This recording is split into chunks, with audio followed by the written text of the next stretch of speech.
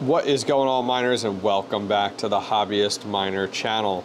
Well, guess what we got in today? A Goldshell mini Doge miner. Let's go ahead and crack this open and get mining some Doge.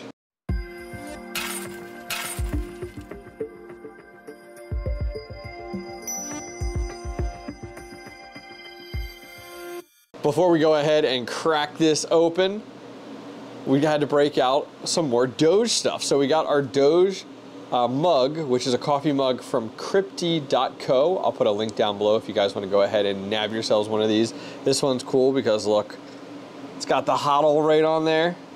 So cool looking. And of course, we're drinking ourselves some DogeLord coffee. Uh, this one right here is their standard uh, ground. They call this Digital Gold Roast. So this is actually really, really good. Got ourselves a little coffee in there too. This is cup number two tonight. Uh, so anyways, now that we are fully decked out in Doge, let's go ahead and open this up. Okay, so let's uh, open this up and see exactly what we got here. Ooh, fancy. All right, so here is our miner. You guys can see, unfortunately, we don't have any of the cool etchings on the side or anything like that. Unfortunately, I was actually concerned when I got it that it didn't have anything on it because this was one of their like Christmas ones. And if you look at the fine print on their website, it actually says no guarantee to have the etchings on it, which is really disappointing.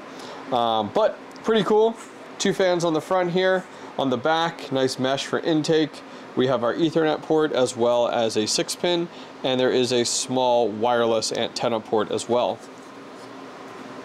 Look at this thing. It's like nothing, it's awesome. So we'll put that aside as we are most likely gonna run this via ethernet and then we just have a little book that has a QR code to scan for instructions. Awesome, let's get our box put away and take a deeper dive. Okay, so let's go ahead and attach our wireless antenna so that we honestly don't lose this.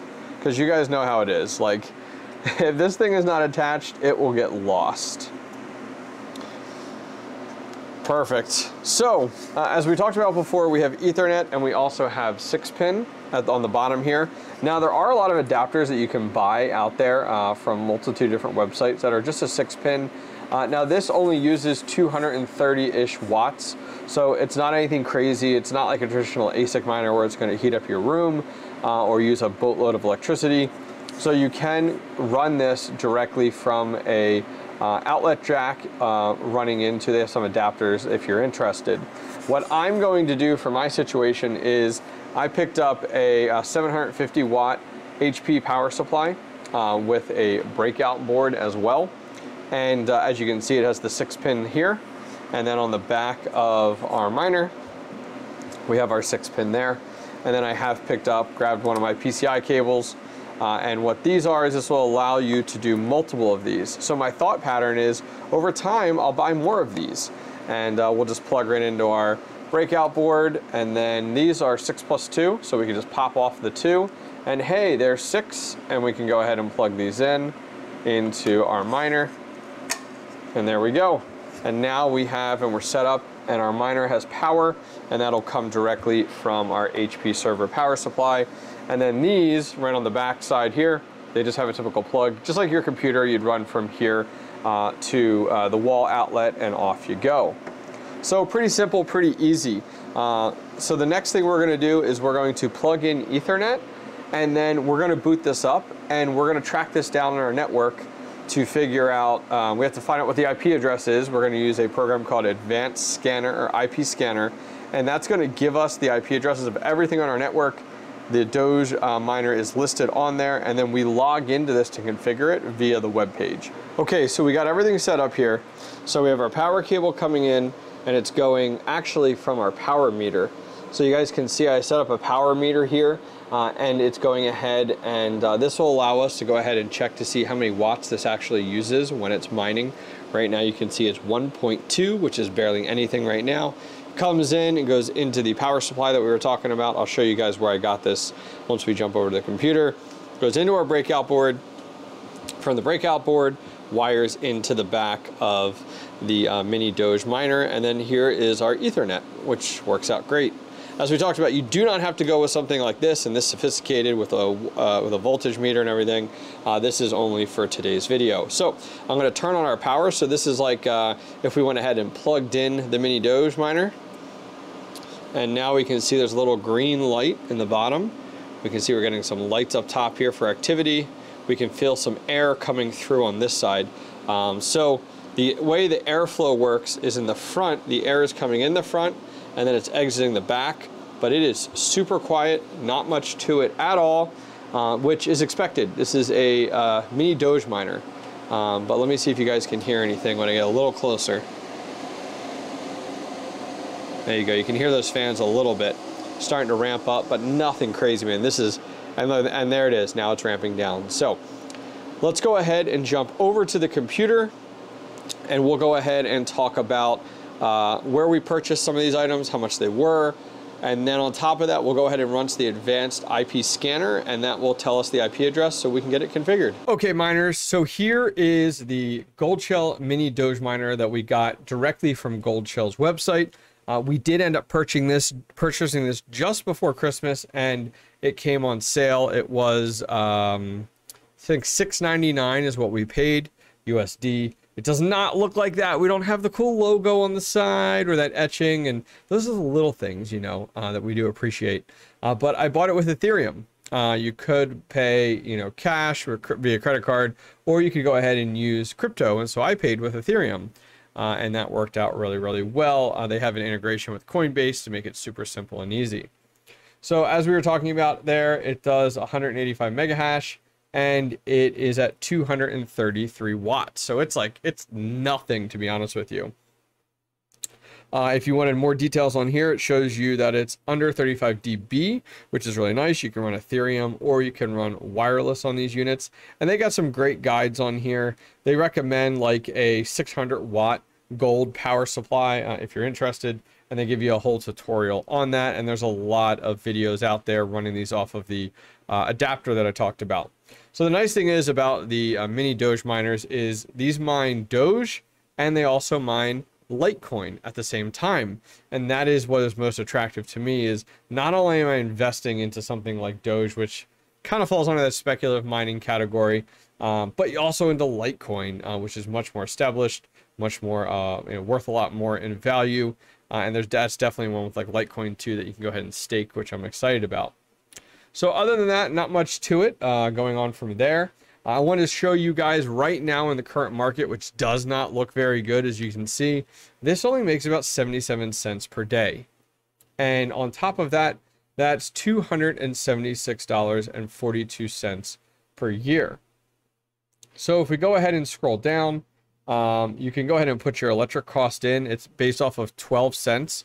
I'm going to update it to mine, which is a lot less, 0.058, and apply it. Uh, please enter, oh, too many, too many. Let's go back one. Here we go. Perfect. So for me, in my situation, I'm at a dollar seventeen per day, which is a huge difference when it comes to electricity cost. Um, so $35 per month and $422 per year. So in the current situation, I'm not even breaking even after a year, but this is also a little bit of fun mixed with a little bit of speculative mining. So keep that in mind as we move forward. Um, so Doge hasn't really been looking pretty recently. Um, you know, just in the last seven days, you can see there's quite a downward trend for Doge right now. So let's go ahead and mine it. Difficulty might be less. We can kind of get ourselves some more Doge. In addition to that with Litecoin, Litecoin down as well, just like everything else is uh, in the last few days since the new year. Um, but it is $128 um, for Litecoin right now which is still pretty cool versus where we're at with Doge, which is roughly right around that 13 cent mark. So this is the um, power supply that I picked up on Parallel Miners. Uh, they have a variety of different options that you can pick up. You can go with a 750 watt. You can look at a 1200 watt if you wanted to. As I said before, if you pick this up for something like this, you could now do eight total Doge um, miners on this if you wanted to off, off of the power supply and the breakout board that it does come with. Finally, advanced IP scanner. This is what they recommend. um, what you do is you download this program and you run it and scan your network, and it will tell you under the manufacturer and the details as to everything on your network, and you can see the Goldshell Dogecoin miner, and it tells you the IP address. So I'm going to go ahead and run this on my network. I'm going to identify the IP address, and in our next cutscene, you're going to see us jump over to loading up our web browser and typing in the IP address, and then we can go ahead and log in to our Goldshell mini Dogecoin miner. Okay, so we have gone ahead, find, found the IP address. It's DHCP, so it doesn't have a static IP, and it's actually really funny. So when I was looking at all the different devices on my network, it came up as QSDK. Like, you think for Goldshell, like you think it would come up like something much easier, just like Goldshell or Goldshell mini Doge miner. Like, no, Goldshell. So you get QSDK, and uh, there's the IP address that it got there. So we went ahead and loaded this up, and then we stopped. So what we're going to do is we're going to come up here in the upper right-hand corner, and we're going to change our language. We're going to swap it over to English. Ah, much easier. We can totally work with this now. So next step is we want to come up and we want to unlock the interface. So we're going to click on lock, and then under admin, you can type the password. So the password by default on all these devices, as you can see, is 123456789. So we're going to unlock it. Once you do that, it is always a great rule of thumb to stop and change your admin password. So in here, you're going to come down to system. And once you do that, you can go ahead and change your password. So under change password, you're going to go ahead and type in 123456789 for your current password. And then come in here and put in a new password twice and hit change. So once you click change, it's going to bring you right back to the unlocker screen. You can go in here and type in your new password and then just click unlock.